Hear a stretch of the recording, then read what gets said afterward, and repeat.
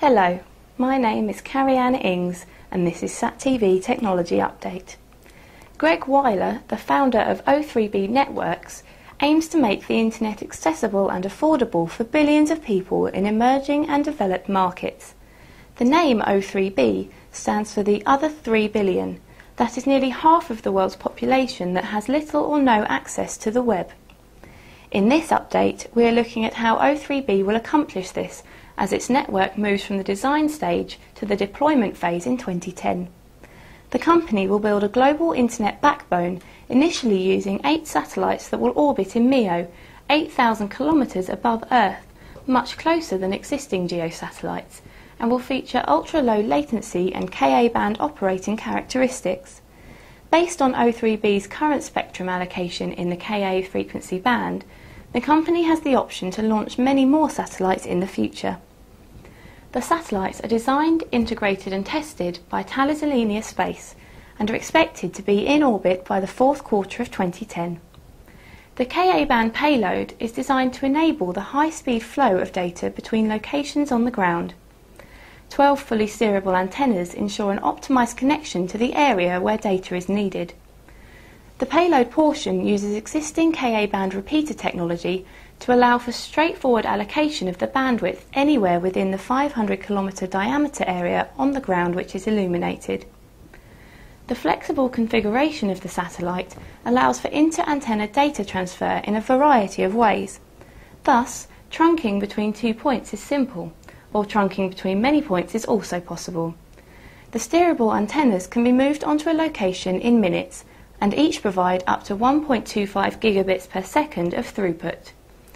In February of this year, the company completed a preliminary design review of the Constellation space segment being built by Thales after a three-day process held in France, during which O3B's engineering team reviewed the space system architecture, satellite design, payload design and overall system performance.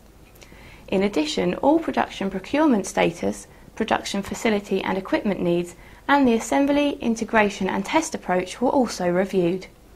According to Brian Holz, Director of Space Systems for O3B, the initial constellation will be capable of providing greater than 10 gigabits per second of bandwidth, with round-trip latencies below 130 milliseconds, ideal for applications such as internet trunking and cellular backhaul.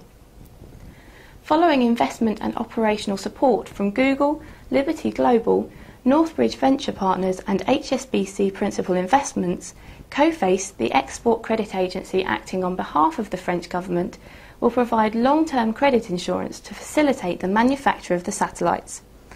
Last month, global satellite operator SES made a minority investment of 75 million US dollars and will provide engineering and commercial support in order to assist the company's de development. Romain Bausch, President and CEO of SES, said that through its innovative satellite technology, O3B will be able to provide emerging markets with fast, competitively priced internet connectivity that is currently only available to the developed world. Technology partners for the system include Advantech Satellite Networks, the world's largest provider of DVB RCS hubs and terminals, Gilat Satellite Networks, who for more than 20 years have been at the forefront of the VSAT te technology, and iDirect, a leader in satellite-based IP communications technology.